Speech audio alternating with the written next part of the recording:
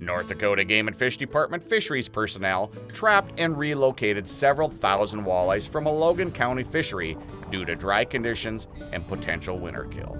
In years with abundant precipitation, the Wentz waterfowl production area uh, has enough water to uh, support year-round survival of our walleye.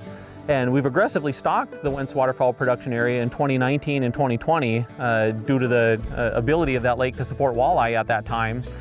And it's got quite a few walleye in it that are doing uh, fairly well right now. Wentz WPA still has plenty of walleyes for ice anglers to target this winter.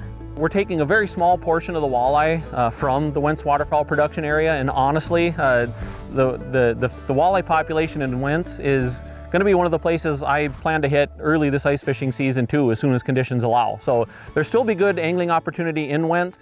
Bailey says Mother Nature will ultimately determine if the lake makes it through the winter. Unfortunately, due to the drought uh, we're experiencing, the Wentz waterfowl production area is down to a maximum depth of about eight feet of water.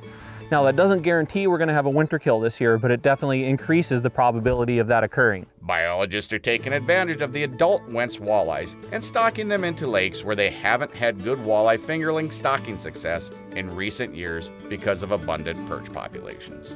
One of our primary destinations for these fish will be Rice Lake in Emmons County, uh, a very popular, uh, good long-term fishery where we have struggled to uh, have good stocking success uh, in recent years with our, our, stocked hatchery walleye. We are stocking a few of these fish in potentially Braun Lake, uh, closer to Napoleon, uh, and then a few lakes in northern Kidder County as well, Jasper and Josephine.